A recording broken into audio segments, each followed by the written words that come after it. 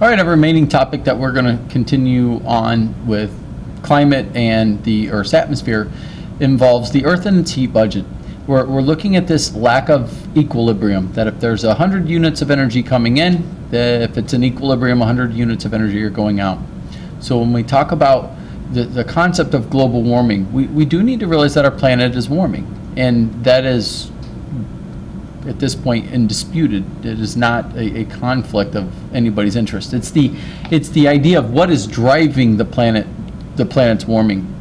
Is it is it human caused or is it a natural feature of us being in an interglacial period? And that's something you'll need to sort out on your own. But if the Earth were balanced, if it had a balanced heat budget, the influx of heat would equal that of the outflow.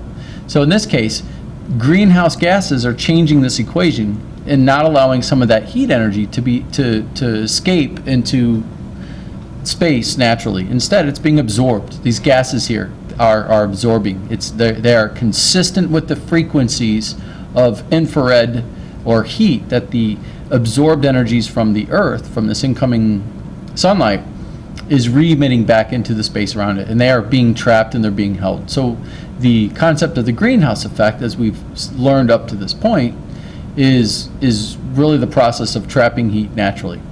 So the greenhouse effect then is a good thing, right? We want liquid water. This is the medium that for allows for complex chemical reactions, right? Life is good. We like life.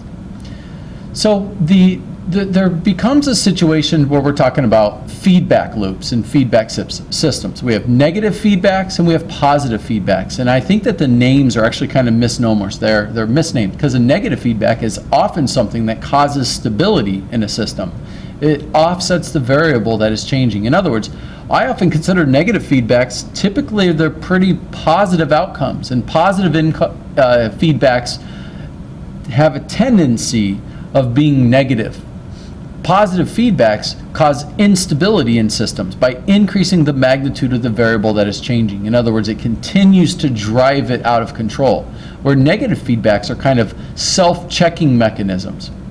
And we'll look at a couple examples of this. So an example of a negative feedback, that a rise in cloud cover on the Earth's surface due to warming can cause an increase in the amount of sunlight being reflected back into space which decreases the amount of heat energy added to the Earth system. In other words, it's like a checks and balances here.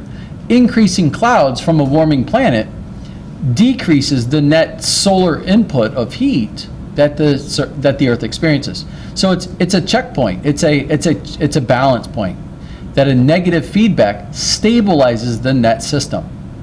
However, a positive feedback loop can dr can drive something out of control. For example, during an ice age, continental glacial ice reflects incoming solar radiation that drives the Earth even further into cooler conditions, right? As, as glacial ice blankets the, the northern hemisphere or, or northern parts of the planet and the southern parts of the Earth, you're creating a larger reflector that less sunlight, less heat energy is going to reach the Earth's surface. So this would drive it more to, to a more unstable condition.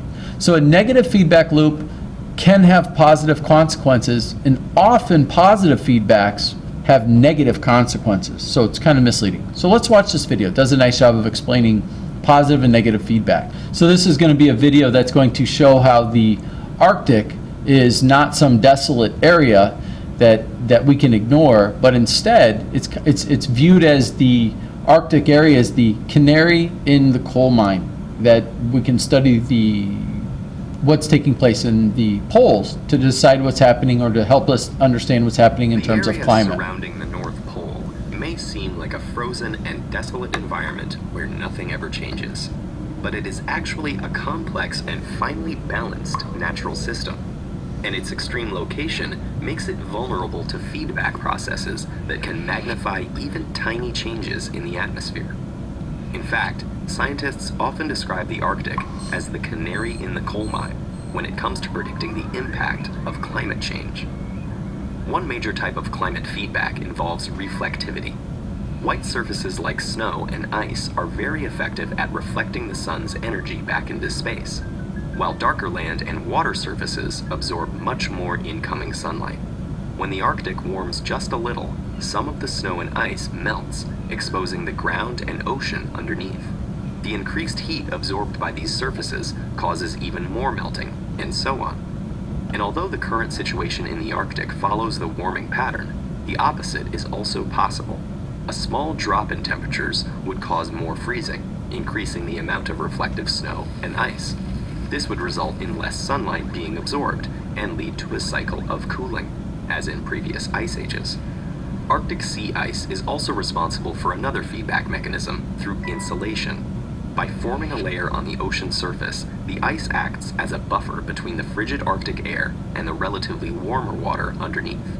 But when it thins, breaks, or melts in any spot, heat escapes from the ocean, warming the atmosphere and causing more ice to melt in turn.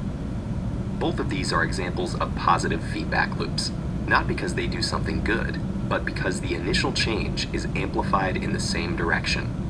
A negative feedback loop, on the other hand, is when the initial change leads to effects that work in the opposite direction. Melting ice also causes a type of negative feedback by releasing moisture into the atmosphere. This increases the amount and thickness of clouds present, which can cool the atmosphere by blocking more sunlight. But this negative feedback loop is short lived due to the brief Arctic summers. For the rest of the year, when sunlight is scarce, the increased moisture and clouds actually warm the surface by trapping the Earth's heat, turning the feedback loop positive for all but a couple of months. While negative feedback loops encourage stability by pushing a system towards equilibrium, positive feedback loops destabilize it by enabling larger and larger deviations.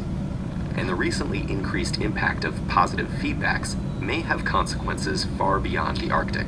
On a warming planet, these feedbacks ensure that the North Pole warms at a faster rate than the equator. The reduced temperature differences between the two regions may lead to slower jet stream winds and less linear atmospheric circulation in the middle latitudes, where most of the world's population lives. Many scientists are concerned that shifts in weather patterns will last longer and be more extreme, with short term fluctuations becoming persistent cold snaps, heat waves, droughts, and floods. So the Arctic sensitivity doesn't just serve as an early warning alarm for climate change for the rest of the planet. Its feedback loops can affect us in much more direct and immediate ways. As climate scientists often warn, what happens in the Arctic doesn't always stay in the Arctic.